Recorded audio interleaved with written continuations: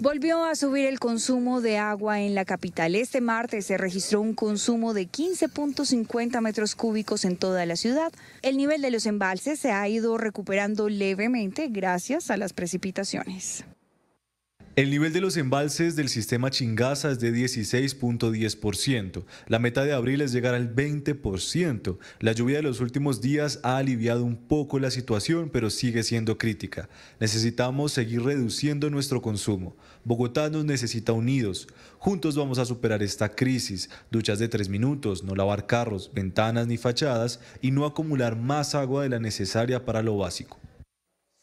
Los capitalinos continúan ahorrando. La medida restrictiva ha permitido que algunos sean un poco más conscientes sobre esta coyuntura.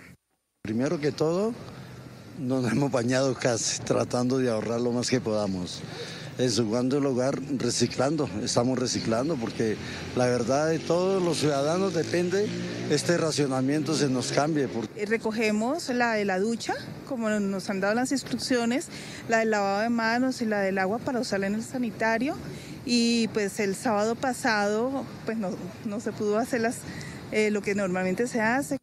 La tarea es de toda la ciudad, razón por la que el compromiso y la responsabilidad son compartidos bañarse uno más rápido, eh, tratar de consumir menos agua durante el día, eh, en, lavarse las manos un poquito más, más rápido. Este viernes se realizará la primera retroalimentación con el distrito y el acueducto sobre la medida. En el canal de YouTube del Tiempo encontrarán noticias de Colombia y el mundo, también series originales, documentales y reportes de nuestros corresponsales. Suscríbase y active la campanita.